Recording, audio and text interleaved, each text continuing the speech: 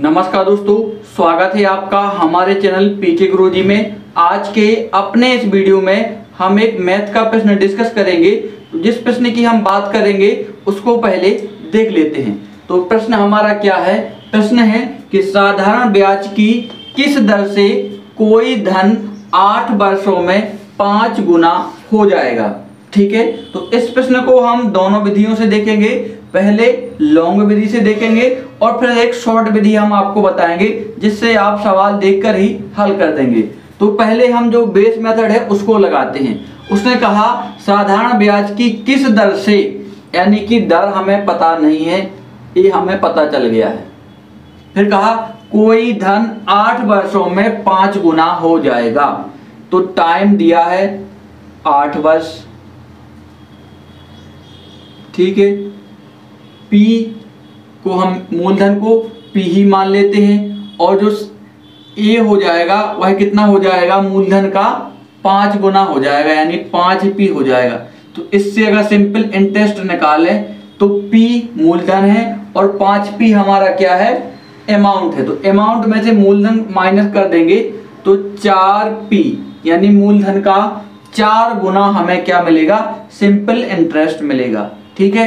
यह सब वैल्यू हमको मिल जाने के बाद हम रेट का फॉर्मूला लगाते हैं, क्योंकि रेट का फॉर्मूला हमारे पास है एस आई गुड़ा सौ भागे पी मल्टीप्लाई टी ठीक है? तो हमने रेट का फॉर्मूला लगा दिया। अब जो जो वैल्यू हमारे पास है, वो वैल्यू हम यहाँ पर रख देंगे। तो आर बराबर एस आई एस आई की वैल्यू है चार पी गुड़ा सौ भागे पी की वैल्यू तो पी ही है, टाइम की वैल्यू है आठ वर्ष। ठीक है? पी से पी को काट दो, चार से चार दूना आठ काट दो दो से काटेंगे तो पचास दूनी सौ। तो आर की वैल्यू निकल के कितनी आई? आर की वैल्यू निकल के आई पचास प्रतिशत ठीक है? तो आपने एक तो इस मेथड से लगा लिया। अब हम एक आपको शॉर्ट मेथड भी बताते हैं। शॉर्ट मेथड जब कभी आपको आर निकालना हो तो कैसे निकालेंगे?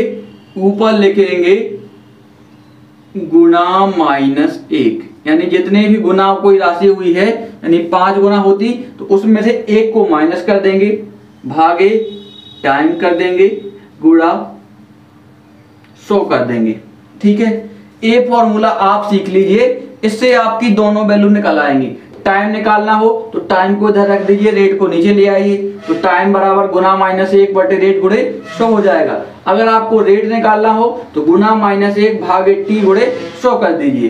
कैसे निकलेगा? कितने गुना हुई थी? पाँच गुना। पाँच गुना में से एक को माइनस कर देंगे, कितना हो जाएगा? चार। टाइम कितना था? आठ बस भागे सौ। चार से काटेंगे, चार दूनी आठ, दो से काटेंगे, पचास दूनी सौ। तो आर बराबर पचास यहाँ पर आ जाएगा। ठीक है? तो आप इस फॉर्मूले को सीख लीजिए। आर बराबर गुना माइनस एक बटे टी गुड़ा सौ। या टाइम पूछा जाए तो टाइम बराबर गुना माइनस एक बटे आर गुड़े सौ। दोनों ही वैल्यू इससे आप निकाल सकते हैं। तो ए अपनी शॉर्ट मेथड है ए अपनी लॉन्ग मेथड है। दोनों मेथड आपने देख ली है। जो आपको अच्छी लगे, वह उससे आप इस सवाल को सॉल्व करके आंसर ले लीजिए। और ऐसे ही नॉलेज बढ़ाने वाले वीडियो देखने के लिए जुड़े रहिए आपके अपने चैनल पीके गुरुजी के साथ। नमस्कार।